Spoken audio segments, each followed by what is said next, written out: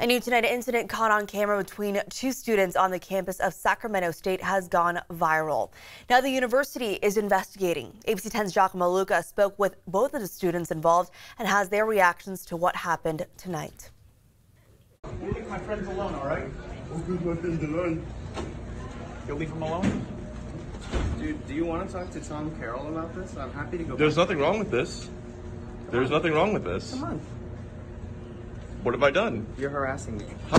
This exchange between two Sacramento State political science students has gone viral, being viewed nearly half a million times on Twitter since it was posted Friday.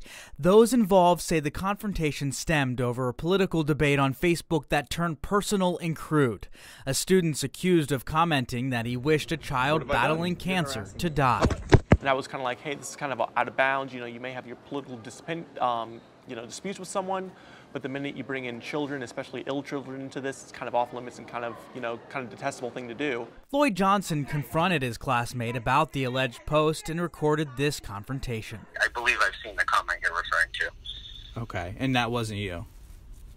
No. Keaton Hall disputes claims he made the post, saying he's been a recent victim of fake profiles.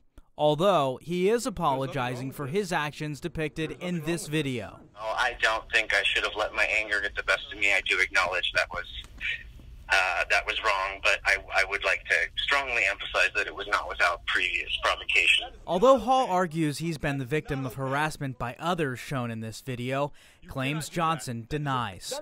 Now university officials are investigating. In a letter addressed to the campus community, Sacramento State President Richard Nelsen wrote, quote, "No one should ever be physically attacked." Everyone deserves to feel safe and secure in expressing their identity and beliefs. I really hope the school takes firm action on this because this is not only something that can, you know, set the bar for this is not allowed on our campus, but also punish this kid um, for also engaging in what he engaged in. What have I done? You're harassing me. Whoa! That is not okay. That is not okay.